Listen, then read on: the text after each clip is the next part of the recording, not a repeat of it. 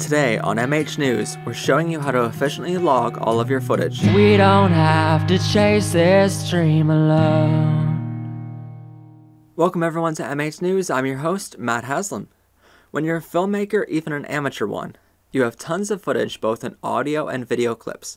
And if you simply import the footage into your computer, soon enough you'll have thousands of clips to sort through in order to find a scene from a certain location. And after a long day of being on location shooting, the last thing you want to do is come back to the office and have hours of looking through your footage to find the best take of a certain scene and marking all that footage. So today, we're sharing some useful tips on how you can make logging your footage and editing a breeze. The first step to efficiently log all of your footage is to mark your script in pre-production to ensure each scene has a different letter assigned to it. For instance, the first scene in a short film might be scene A, the second would be labeled B, and so on. When you run out of letters, simply double them and use AA, then AB, and so on. When you get on location, make sure to bring with you a clapboard. Not only will this help you sync your audio to the video later in editing, but this also offers you a way to mark your footage. Some filmmakers like to skip using a clapboard because clapboards are too expensive nowadays, seeing that even the cheapest ones on Amazon cost at least $30. But you can easily make a DIY clapboard, like ours, for less than $7. And if you want to know how to make one of these, we have a link in the description below for an episode we did on how to build it. All you are trying to do is label the footage and sync to your audio later, so having a fancy clapboard isn't needed. After all, you're going to edit it out later anyway, so having a fancy clapboard is just wasteful. Have one of the actors or production assistant hold the clapboard in front of your cameras. If you have more than one camera on set shooting a scene, such as a multicam production, you want to be sure to aim the clapboard in the direction of each camera recording before reading off the scene and take number and before clapping the clapper to mark your footage for sync. For instance, camera A would be right in front of me. I would aim it there. Then if I had a camera B, I would aim it over there. Camera C, if I had it, would be over there. And then I come back to A before I read off the scene and take number and then before I clap. So make sure you do that. And this is a great clapboard, even though it's only $7. You want to be sure to write on the clapboard which scene you are shooting, such as scene A, and then write the take number of that scene, such as take 1. So later in logging, you can easily look at the first second of the footage and see scene A and take 1, and log the footage accordingly. As soon as you hit record in the camera, the clapboard should already be in front of the camera.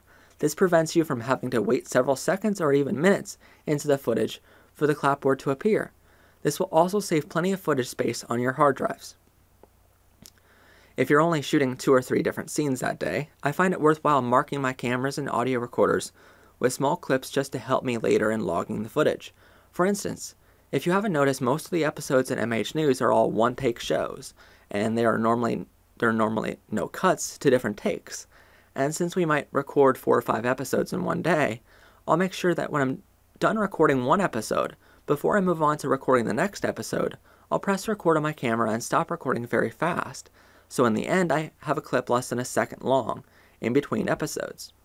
I'll do the same on my audio recorder, which in this case is, is the Zoom H4n. And that way later when I go in to log my footage, I'll be able to look at the file sizes of the footage and notice most of the files are more than 5 gigabytes large, but in between those large files will be a file less than 1 megabyte, so I can easily find out where I switch from one episode to the next. Later on I can easily delete these files, but it makes it easier in the long run. I know you can just switch out SD cards in your camera, or on the Zoom H4n you can go into the menu and switch the file, but all this takes time on set, and it's much more efficient to just take a second to hit record and create a very small file, less than a second long on both devices. You want to be sure to also have your production assistant read off the scene and take number, so the mics can also pick up which scene and take you are shooting. Episode 11, take one. Remember, your audio has no visual aspect to it, so you can't see what's written on the clapboard, and you need to have some way of signifying which file is which. If you don't have someone read off the scene and take number right as soon as you hit record, you'll have to constantly look through your script and try to listen to the actors to find out for yourself which scene you were listening to. This takes a lot of time during post, especially if you're working on a 90 minute film, because you'll have 90 pages of script to look through, and your goal is to be efficient. If you're recording a bunch of different scenes that day, what I like to do in order to help me later in editing is mark which takes are the best. For instance, if we're filming a scene and I thought it was a really great take of that scene, I'll call out to my crew that it was a really good take. Now, if I'm lucky enough to have a production assistant on set that day who's writing down each scene and take number on a clipboard, then sure, he or she can put a little star next to that line, and that tells me later in editing which clips to look at first. But even if I'm the only cameraman on set that day, for instance, for a lower budget project, after the scene is over that I thought was performed really well, before we shoot the next, very next scene or take, I'll put an arrow on the clapboard pointing to the left of the screen, so that on the very next shot we record, that little arrow helps me find out the best, find the best takes. This way, when I'm importing the footage, I'll see that little arrow on the clapboard and go back to the previous video clip and mark it accordingly, which we'll talk about more in a couple of seconds on how to do. When I'm importing my footage at the end of the day, rather than just hitting import and then having a bunch of files only marked with the date I imported them into my computer, I'll find I'll first create a file for the day. Again, using MHNews as an example here, I'll create a file with the date of production followed by the title of the project I was working on. Now, if I worked on multiple projects that day, for instance, if we shot four different episodes of MHNews that day, I'll create four master files, each with the date of production and title of the project. But normally you'll only, you'll only be doing one project per day, so it should be easier for you. After I create these master files, I'll go into each master file and create multiple subfiles, one subfile for each scene we shot. So each subfile will be titled with a letter, again using A, B, C, and so on. Once these subfiles are created, I can finally import my footage. In order to do this, I normally split, split my screen on my computer so I can see all the files from my SD card on the left side of my screen and the File Explorer from my master file on the right side of my screen. Then I'll click on each of the video clips from on my SD card and within the first second or so of the video footage, I'll be able to see what scene and take the footage is from. Then I'll rename the file while it's still on my SD card, and that's important here. For instance, SAT1, which would stand for Scene A, Take 1, and drag it over to copy it to the appropriate subfile in my master file for that project. Using abbreviations will cut down a massive amount of time in post, since you're not having to write out a full wor the words scene and take each and every time. If I had multiple cameras, I would abbreviate that as well. So each file would be named something like C2SAT1, which would stand for Camera 2, Scene A, Take 1. But I could make this easier if my cameras were mounted in, in different ways. For instance, if one camera was on a jib and the other was on a tripod, I would label the file one file J, which would stand for jib, and the other file T, which would stand for tripod. This also helps in editing, so if I'm looking for a moving crane shot, I would only look for the jib shots for that scene because I know all the T shots were shot on tripods and that's not what I'm looking for.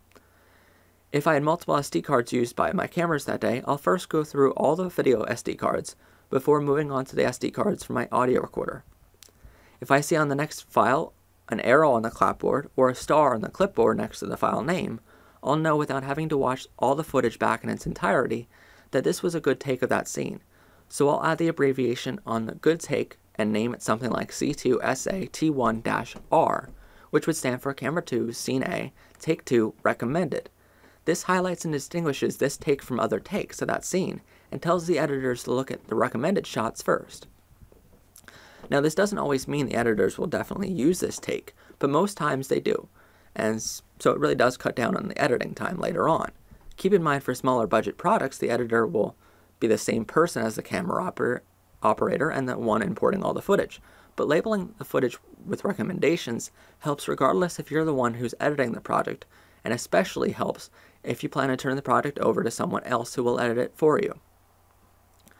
Once all my video footage is, is, imported, I'll remove my SD card from the computer and start to do the same thing with the audio. I'll open each file and listen to the first couple seconds of each one, listening for which scene and take the audio footage is from.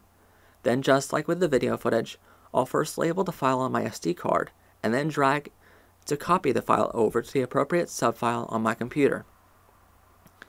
Labeling and renaming the files on the SD card before copying them to your computer also helps if you forget somehow to reformat your SD card before the next time you shoot. That way you won't have to look through tons of footage the next time you import your footage to find the files from your most recent day of shooting. You can just look for the files not yet renamed and labeled and know right away which files have already been imported into your computer. Once all the files are labeled and copied onto your computer, you'll want to plug in one of your external hard drives and copy the master files you just created on your computer over to your, to your external hard drive. On my external hard drive, I'll have an entire file named Footage Backup, which houses all my footage. That way I can keep all my documents and other files separate from my footage. Inside this footage backup file, on your external hard drive, you want to make sure you'll have what I call king files for each year. So on my external hard drive, I'll have a file named 2015, and then I'll have what I call bishop files inside of this king file for each month. And finally, I'll import my master file, which is already labeled with the date of production into this bishop file. So you'll have a whole file for footage backup, then a king file inside that labeled the year it is, and then inside that a month uh, file for the entire month. Normally, no matter how fast of a computer processor or graphics card you have in your computer, you'll want to keep the files you're currently working on in your computer. For instance, if I'm working on editing Season 2, Episode 11 of MH News, the footage from Episode 11 will be on my computer's hard drive, so I can work on editing anywhere I go. But the footage from all the other products will only be stored on my external hard drives, and not on my computer itself. This helps my computer's processor to allow me to edit in full HD without having to edit in half resolution and then have to remember to change the settings back to full resolution before exporting to YouTube. This, along with a list of other reasons, is why it's always recommended to have at least two external hard drives, which each have copies of all of your footage. This way, if one is broken or gets corrupted by a virus, you don't lose the footage. It's also best to keep these hard drives in multiple locations, miles apart, to prevent the same problem uh, if your studio, if your studio accidentally catches fire or something. I know it seems like a lot of work and a lot of files just import a couple video clips and audio sound bites, but when you're editing, it will make for much easier time finding the files you need. For instance, if I need to find a certain file from a certain production, all I need to do is remember when about I shot that piece of footage, and rather than looking through thousands of master files to find one piece of footage I shot last year, I'll just need to remember what month I shot it in, and then look under that month, which narrows my search down to only a couple hundred master files. Don't forget to like and subscribe to our channel for plenty of great content to come and comment below or email info at matthaslam.com with your suggestions for topics for upcoming episodes. This is, after all, a two-way street, so tell us what you want to see and ask us any questions you'd like, and we'll try to create the content you enjoy watching. Thanks for joining us, and see us back here every Sunday and Thursday for brand new episodes.